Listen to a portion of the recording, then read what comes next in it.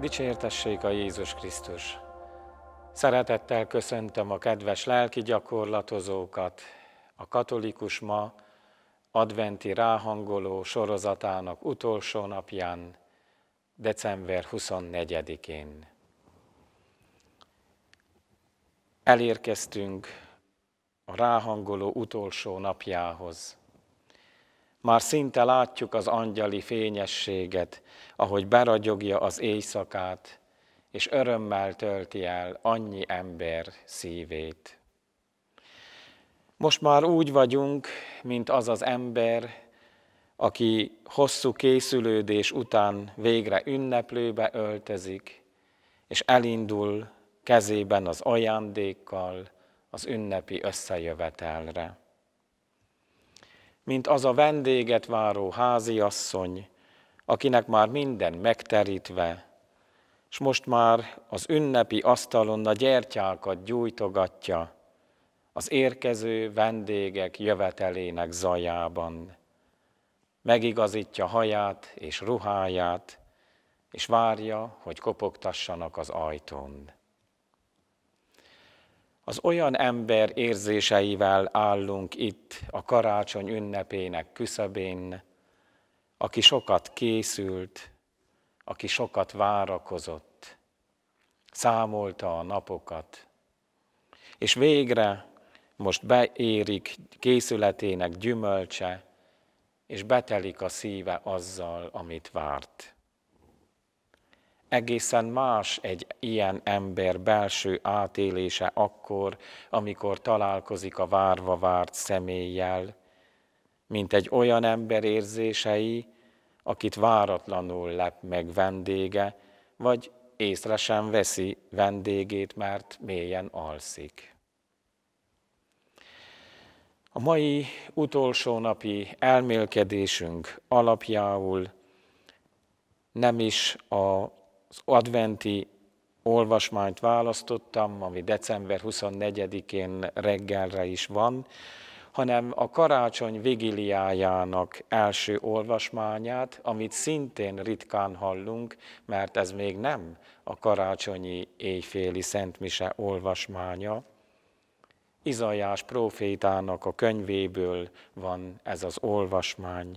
Hallgassuk figyelemmel.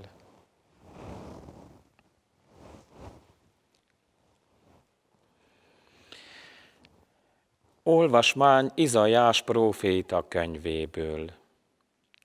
Sion, nem, Sion miatt nem hallgathatok, és Jeruzsálem miatt nem nyugszom, amíg föl nem ragyog igazsága, mint a hajnal, és szabadulása, mint a fákja nem tündököl.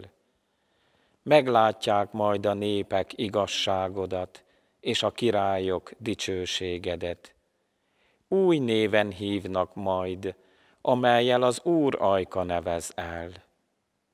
A dicsőség koronája leszel az Úr kezében, királyi fejdísz Istenet kezében.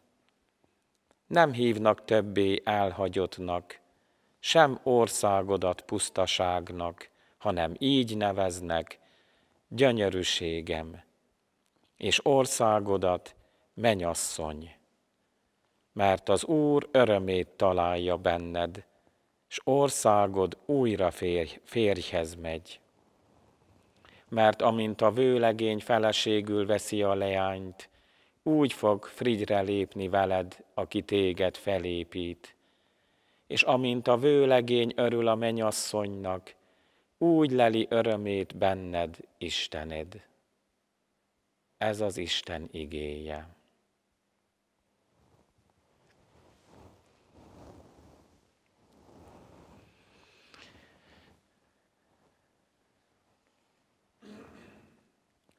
Nem hívnak többé elhagyottnak, hanem így neveznek gyönyörűségem és menyasszony.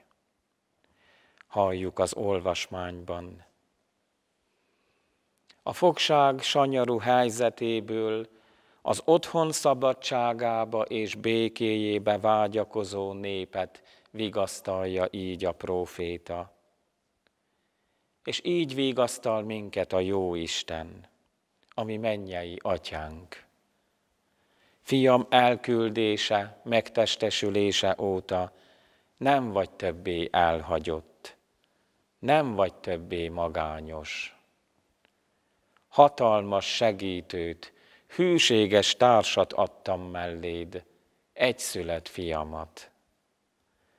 Nem vagy többé magadra hagyott és erőtlen. Az Úr örömét találja benned, ezt is hallottuk a mai olvasmányban. Ennek is nagy súlya és vigaszt nyújtó, gyógyító hatása volt Izrael számára. Hiszen védkeztek, elhagyták az Urat, hűtlenek lettek Istenükhöz, és ennek sok szenvedés és számüzetés lett a következménye. Izajás próféta szava által pedig vigasztalja őket az Úr.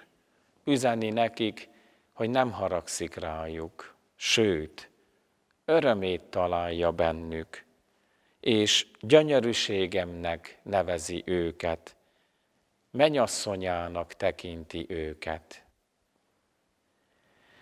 Milyen vigasztaló ez az isteni üzenet számunkra is bár sokszor védkezünk, megbántjuk Istent és embertársainkat, sokszor kárt okozunk magunknak és másoknak is, és emiatt aztán szenvednünk kell. Isten mégis azt mondja nekünk, hogy megbocsát, nem haragszik ránk, sőt, örömét találja bennünk gyönyörködik bennünk.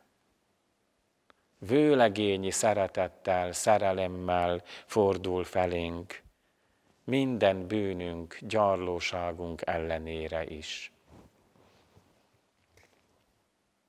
Ezek az isteni bátorítások legyen az utolsó lökés, ami megváltunk elé vigyen minket mert néha mi magunk vonakodunk elébe menni, találkozni vele, fogadni őt, mondván, nem vagyok én erre méltó, jaj, én egy bűnös ember vagyok. Bátorítsanak Isten hozzánk intézett szavai, hogy vonakodás nélkül, meghatódott boldogsággal fussunk, megváltunk elé, feszengés nélkül, önfelett örömmel fogadjuk őt karjainkba, szívünkbe, anélkül, hogy tiltakoznánk, anélkül, hogy elutasítanánk őt méltatlanságunkra hivatkozva. Ez utolsó nap feladata pedig az, hogy vizsgáljam meg a szívemet, hogy elhiszem-e azt, amit az Úr ma mond a szívemnek. Gyönyörűségem vagy menyasszonyom vagy, és én örömemet találom benned. Hallgatom-e ezeket az isteni szavakat? Elhiszem-e? Elfogadom-e a szeretetét? Engedem-e, hogy a szívemet meglágyítsák, és iránta, iránta való szeretetre gyullasszák? Engedem-e, hogy az Isten egészen közel jöjjön hozzám, és a szívembe költözzön.